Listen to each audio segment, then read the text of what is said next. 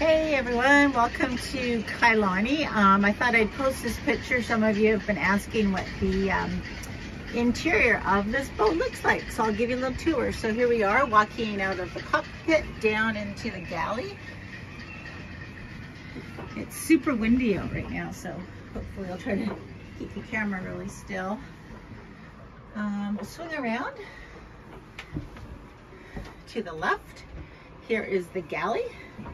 So it's got a sink. Um, here's the ice box. I can open it up. Lots in there. Um, I don't have it cold right now, but it's uh, actually six cubic square feet, so it's quite large. A nice gimbaled uh, propane two burner element and stove. So when you're out at sea, it will actually, um, I've got locked right now, but it will actually um, turn so you can still cook while you're out sailing. Cupboard space, prep area, area where I have my dishes. Lots of light, lots of windows that all of them open up, which is really cool. Um, little pantry here. Every sailor's delight, coffee mate. Ah, everyone's got to have the uh, sailing for dummies. You just never know when you might want to have to crack that puppy out. Um, seating area here. Walking to the bow of the boat. Um, to the left is the um, little dry storage area, like jackets, some foul weather gear laid in there. Um, then heading to the V-berth. So this is the, um, the bow of the boat. Um, lots of storage, keep towels and stuff there, little drawer. Um, here's the bed, and then I love the uh, skylight. Oh, sorry, it's really bright. Look right outside. Cozy. And coming back into the saloon and then here is the um, the head. Nice to have a closed door. Um, lots of room, lighting, skylight, and of course, gotta have the sign. Um, lots of cupboard space, and uh, this door will actually flip over the other way so you can close off the beam for, for privacy if you like.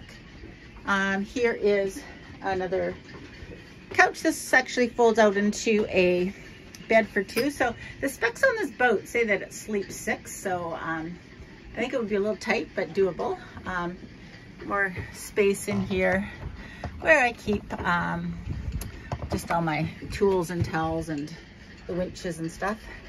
And over to the left here in the aft is another bed. This is actually a queen size bed. So lots of lots of room for two. Um, window up above for light. That bag hanging down right there is just to um, absorb the moisture. Works really well. Little nav station here. Open it up.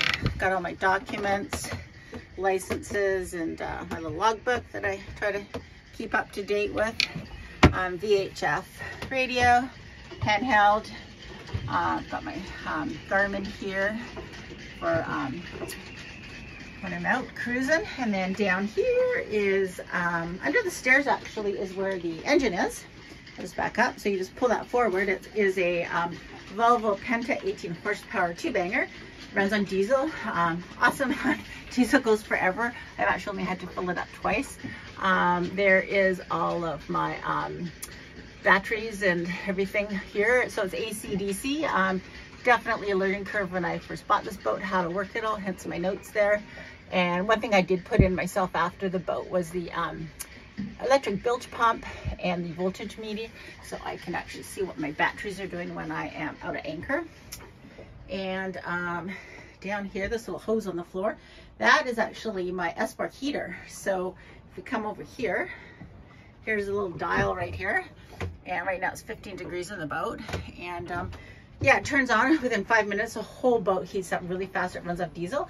So um, it's nice when you're actually out um, at anchor or out cruising, you can keep the heat on. Um, and then I just have a little space heater on the floor here that I use um, when I'm not on the boat just to kind of keep things warm and dry. And that is it. Thanks for checking out Kailani. She's a 30 foot CS sloop and um, love sailing her, learning lots. And uh, thanks for checking it out. Fair winds.